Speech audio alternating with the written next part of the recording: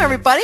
Welcome to Take 10 at 10 of 10. We got Charles Allen here, who is a Microsoft MVP, one of our favorite presenters um, for our 10-minute presentation. And also note, this is kind of uh, HR payroll day. We have another session coming up with Terry Healy later on this afternoon. So, Charles, without uh, taking any more time, I'm going to go ahead and let you take it away. All right. Well, thank you very much. Well, uh, let's see. Uh, looks like um, my presentation is moving on without me. So let's get back here and start this. So thank you for attending. And I'm normally considered a slow talker, so I'll speed myself up today to uh, cover all this. There are multiple slides, and some of them I'll fly through because uh, I want to just show you the product more than I want to show you a PowerPoint. So if we take a look here, uh, there are a few key things, though. What's available for self-service in 2015 that they've added? Oops, there it goes again. Uh, we've got the employee profile, uh, pay stubs, direct deposit, W-4, skills and training, and benefit enrollment, actually, in being able to enroll thyself in benefits. So let's take a quick look here. Uh, you can use the web or traditional client. Uh, so if you guys are not using that yet for your uh, system, then that is a great um, way to introduce the web client to your environment. Uh, there are some new security roles. Uh, there's actually one in 2015 that's been added. Sorry about that. Uh, the other ones, though, are employee self-service, and you'll want to assign those to the uh, to the employees that you will create in GP as users. Uh, so basically, you're going to notice here that there is a user type of limited. There's also another one that's going to be self-service that you'll be able to use as well uh, if you have licenses for it. But you want to use limited or self-service really, unless you have somebody who has set up as a full user too.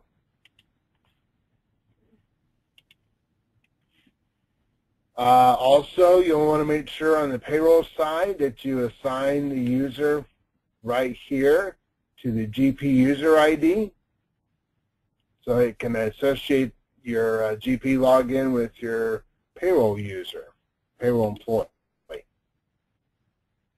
There also are new self-service roles for the home page. And here is an example of a home page. So let me go ahead and I'm not going to keep showing PowerPoint. So I actually want to show you the screen. So let's quit that and move this guy over. Go to full screen mode. So what we have here is a home screen for a user who has been set up as an employee self-service user. And this page that you're seeing is using the self-service role. now, notice I am Pilar, and if any of you have ever used Fabrikam in payroll, then you know that Pilar Ackerman is one of the employees in that company.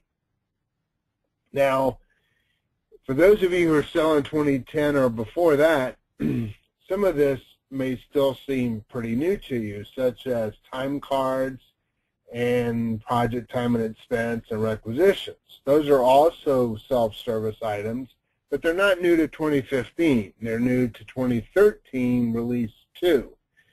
So uh, there's plenty of information out there about those. But we're going to focus really on the employee self-service in 2015 here that's new in 2015. Now, when I go to the HR payroll page, notice that my choices are quite limited, as you might surmise. So here I've got all these options here that I can use.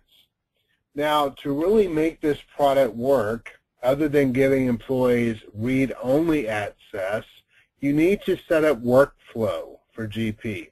And there are two different kinds of workflow. There's workflow via SharePoint, and there's workflow via GP.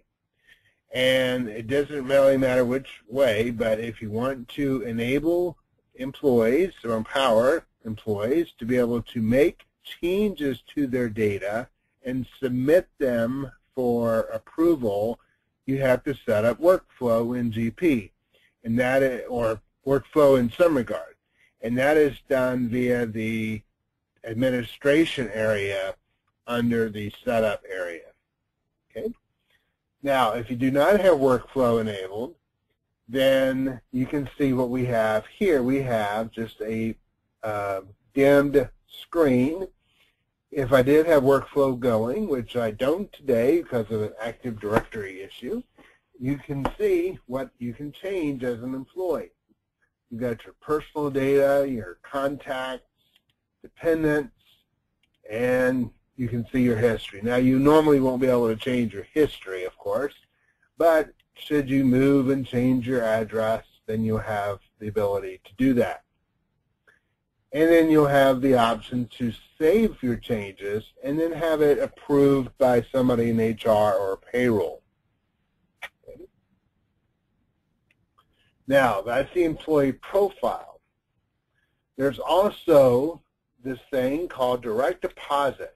Now, if anybody used direct deposit in Business Portal, you know that you really didn't use it because it didn't work very well.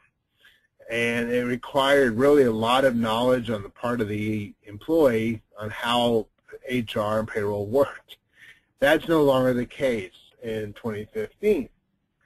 You can see here that this looks pretty much just like the uh, direct deposit maintenance window for an employee. But it gives the employee up here the ability to stop a deposit. It also gives them the ability to add accounts. But what we did not have in Business Portal was the move up and move down option.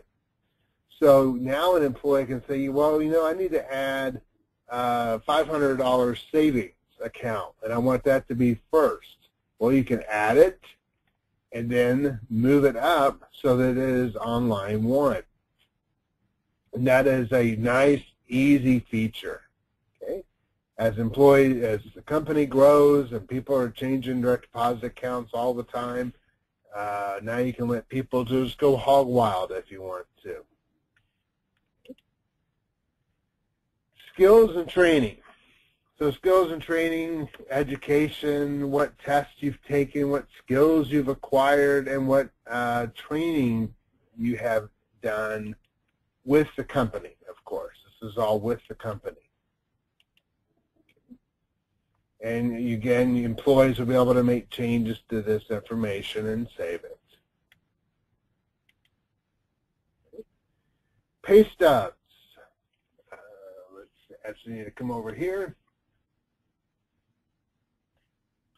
This allows you to see your pay stubs. Now, one of the nice things they've added is the ability to do it over a date range. Also, they have taken away the Social Security number. So you no longer have to worry about printing out a direct deposit stub with your direct deposit, uh, sorry, with your Social Security number prominently displayed for people. And here is your reprint pay statement. And again, you can use a filter to filter your data. Go back up here. And let's look at W-4s. You also have the ability to change your W-4. And let's look at benefits. Now, this is just a simple way of looking at what you have. And of course, with all the Affordable Care Act and requirement to be on unless or be offered at least. Uh, this allows the employee to see what they have and what's available in case they don't have everything. Now, another option down here is this enhanced view, which is going to provide more information. And as you can see, I've got some additional fields that can provide more detail to the employee. Now, lastly, with the employee self-service is the benefit enrollment. and that is the ability for employees to enroll uh, in their benefits for you, thereby making it a lot easier than having to upload files and all that sort of stuff at the end of the year, which everybody loves to do. So in 2015, Microsoft has added all these items that you see here. They've added the pay stubs. They've added the benefit enrollment piece. And you now can give employees the ability to manage their own data as well as give managers the ability to manage their team's data all within GP, either using the traditional client or the web client. Now, if you have any questions, because obviously this is a very short demo, 10 minutes, uh, there's plenty of data out on the internet. And just to come down here, you are welcome to contact me at any time. Also, go to our website here to read more information.